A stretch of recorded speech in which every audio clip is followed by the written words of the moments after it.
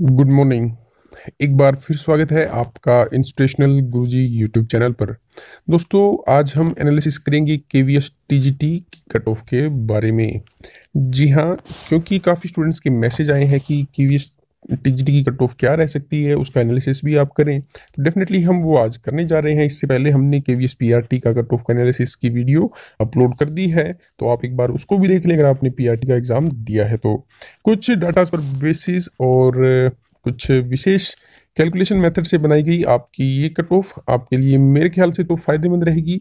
ये देखने के बाद आप ज़रूर इंटरव्यू के लिए प्रिपेयर करना शुरू कर दें, क्योंकि इंटरव्यू भी काफ़ी स्कोरिंग आपका क्राइटेरिया रहता है और आपकी अच्छी तैयारी वहाँ पर ज़रूर होनी चाहिए। तो कैटेगरी वाइज हम एनालिसिस करेंगे, साथ में पिछले साल की कट ऑफ़ भी डिस्कस करेंगे क्या रही है। तो जब शुरू करें, उससे पहले ही मैं पिछले साल की आपको कट ऑफ़ बता देता हूँ।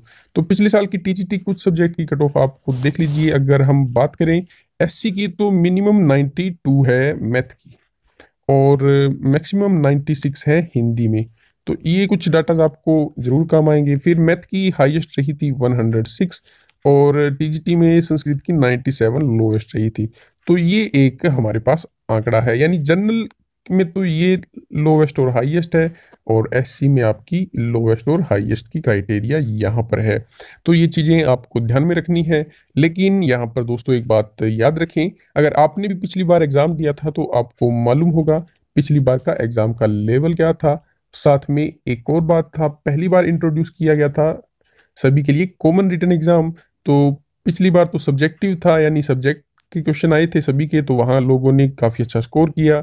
लेकिन इस बार सभी के लिए कॉमन रिटर्न एग्ज़ाम था तो वहाँ पर जो नया पैटर्न था और जो लेवल था, वो सुपर था। उसके कारण मेरिट डेफिनेटली कट ऑफ़ उससे कम जाने वाली है, इतना तो आप श्योर रहिए।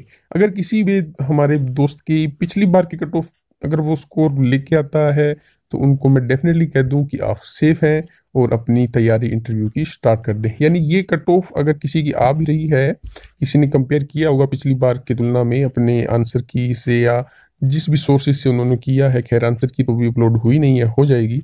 उन्होंने किया है तो डेफिनेटली अगर ये स्कोरिंग है तो मैं आप उनको अपनी तरफ़ से थम्स अप थम्स अप कर देता हूँ, उनको तैयारी शुरू कर देनी चाहिए। आपका इंटरव्यू में डेफिनेटली कॉल आने वाला है।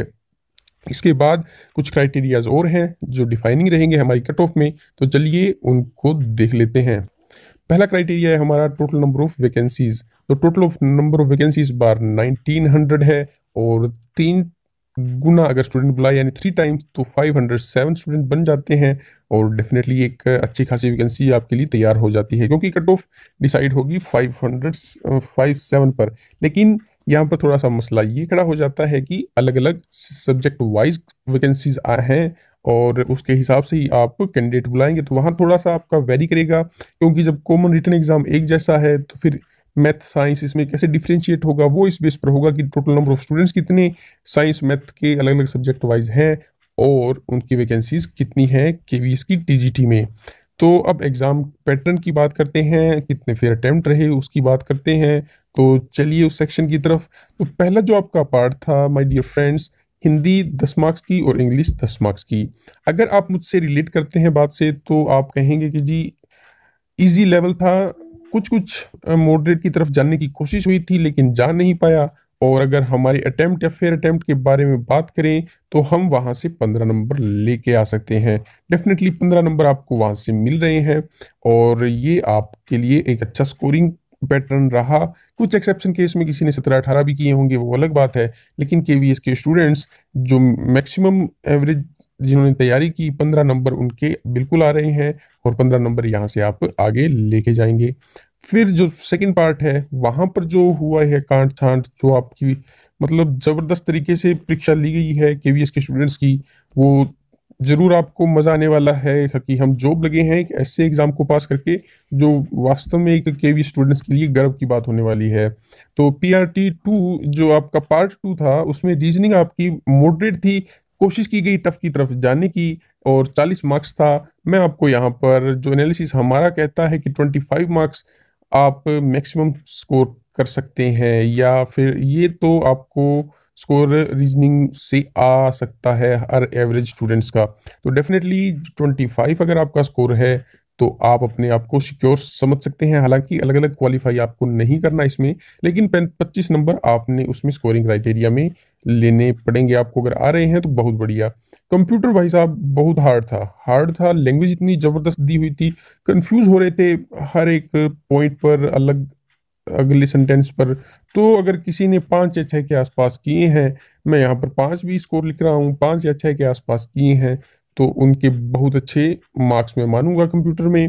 पेडागोजी सेक्शन जो भी एक अच्छा पेडागोजी का टीचर है, उसको भी देख कर लगा होगा कि बहुत बढ़िया क्वेश्चन पूछे गए हैं और लेवल मॉडरेट था टफ पर जाने की कोशिश की गई थी, पहुँचने में थोड़ा नाकामयाब रहा, लेकिन 25 का स्कोर तो आप वहाँ से कर पाए होंगे। कोई सुपर इंटेलिजेंट कुछ रहा होगा तो शायद 30 तक चला गया होगा, लेकिन मेरे ख्याल से तो 25 इनफ रहे होंगे इस सेक्शन में। और करंट अफेयर और जनरल अफेयर ने तो मतलब अवेयरनेस ने क्या ज़बरदस्त हार्ड लेवल वाला पेपर सेट था वो, चालीस नंबर में जहाँ लोग सोच रहे थे कि तीस पैंतीस के आसपास करने की, वो बीस बाईस में ही सिमट कर रह गए हैं। तो यहाँ बाईस भी हो सकता है, थोड़ा ऊपर चला गया तो वरना बीस फेयर इनफ रहेगा कहना। और ये अगर टोटल मिला लें दोस्तों तो सेवेंटी सिक्स सेवेंटी फाइव ही बन रहा है इस सेक्शन से। तो seventy five to seventy six marks second part से आप ले जाते हैं और पंद्रह मार्क्स आप पिछले पार्ट से ले के आते हैं। तो ये 91, 92 के आसपास बैठता है आपका स्कोर और हमारा जो कट ऑफ़ एनालिसिस कहता है क्योंकि एक आधा ऊपर नीचे स्कोर हो सकता है मैं हिंदी इंग्लिश में वहाँ आपको एक नंबर एक्स्ट्रा दे सकता हूँ। यहाँ सी में एक नंबर थोड़ा सा चांस है कि ज़्यादा देने का। पेडागोजी में एक नंबर आपको फिर मैं थोड़ा सा मार्जिन देता हूँ। तो दोस्तों हमारी कट ऑफ़ जो उस बैरियर पर आके रुकती है मैं आपको सेफ़ स्कोर बताने जा रहा हूँ जो सेफ़ है बिल्कुल। तो जनरल के कोई स्टूडेंट्स हैं और 92 उसके मार्क्स हैं। तो बिल्कुल सेफ़ है, आपको तैयारी कर देनी चाहिए। चांस में यहाँ पर 90 अगर किसी के हैं ओबीसी में तो डेफिनेट जनरल में तो डेफिनेटली दे रहा हूँ। यानी 90 प्लस से ऊपर वाले स्टूडेंट अपनी इंटरव्यू की तैयारी शुरू कर दें। फिर ओबीसी के जो स्टूडेंट है 91 92 यानी बनस्पत जनरल और ओबीसी में आपको डिफ्रेंशिएट नहीं करना। डेफिनेटली यही कट ऑफ़ आपकी दोनों की बराबर रहने वाली है 92 92 तो अगर किसी के स्कोर 90 प्लस हैं तो वो अपनी तैयारी शुरू कर दी दोनों स्ट्रीम्स में। एससी का कोई कैंडिडेट सुन रहा है तो 89 के आसपास स्कोर में उनके इंटरव्यू में जाने की उम्मीद है। एसटी के स्टूडेंट की 85 में और फ़िज़िकल हैंडीकैप को 77 या 80 का ये मार्जिन रख रहे हैं हम 77 टू 80 अगर ये स्कोर बन रहा है तो माय डियर फ्रेंड्स आपको इंटरव्यू की तैयारी अभी से शुरू कर देनी चाहिए। उसके पीछे का रीज़न ये है क्योंकि सब्जेक्टिव कोई भी पोर्शन आपसे अभी नहीं पूछा गया है।